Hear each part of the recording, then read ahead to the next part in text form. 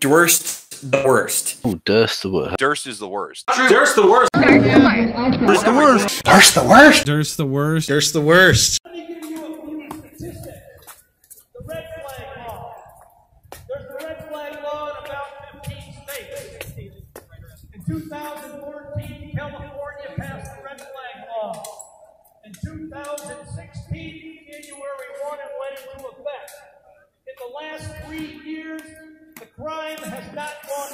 California. There's five mass shootings. Tell me where it works, folks. Tell me where it works. And not one time do you hear them talking about disarming criminals and stopping black market gun sales. It's all about the law abiding citizens. In Chicago, in the last two years, there's been 4,700 plus shootings. And we have a Democratic congressman in, running for re-election in Chicago holding a gun in a gun-free zone doing a mock assass- assassination of President Trump. And then they say the law-abiding citizens are the issue. Well, we're not. And it's time for all of us to stand up and refuse to take it anymore. I ask our Republican leaders to stomp these laws that are being addressed out in Wisconsin and all states. And there's so many of them across the nation that refuse to stand up and fight. And we can't allow that to happen. Our God is great. Our God looks over us. I'm asking our Lord and Savior Jesus Christ to look over us today and keep everybody safe, get everybody home safe. I have a son.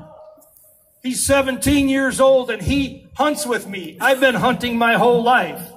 In case anybody doesn't know what it is, I hunt with a Browning 308, semi-automatic with a 10 round clip. It doesn't look like no AR. And by the way, AR stands for ArmaLite.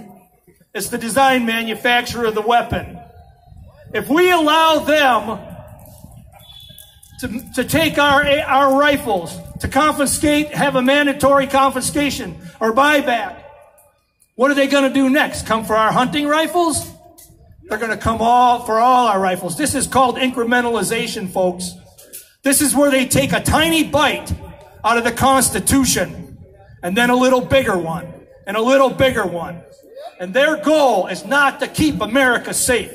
Their goal is to make America disarmed. And we cannot allow that. We have the biggest civilian army in the world. Why do you think we have never had a foreign war in our country? Because our, our civilian army will stand up to any foreign army. Stick together, folks. Tell your Republican leaders. Tell your new elected officials. Tell the people, vote for the right people when you vote.